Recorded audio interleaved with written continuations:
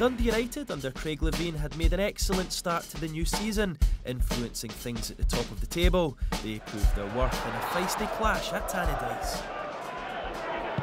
Another Willo Flood free kick. Wilkie! This time they have found Lee Wilkie, and it's Dundee United that strike first. And then Papac brought down. Ferguson taking the free kick quickly. Hutton, nice first touch from Alan Hutton. Beasley, still DaMarcus Beasley, that's a penalty.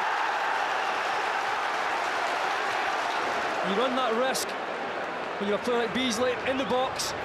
He's lining up to shoot. As soon as contact's made, he goes down. Daniel Cousin sends McLean. Cousin the first visiting player to score here in the SPL this season, and that makes it 1-1. So Dundee United have it all to do again.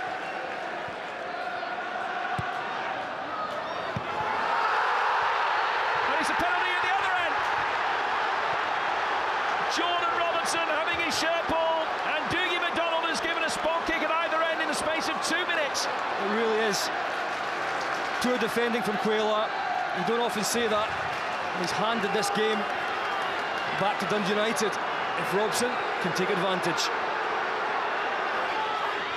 A chance he's taken with a aplomb, and Dundee United lead again by two goals to one.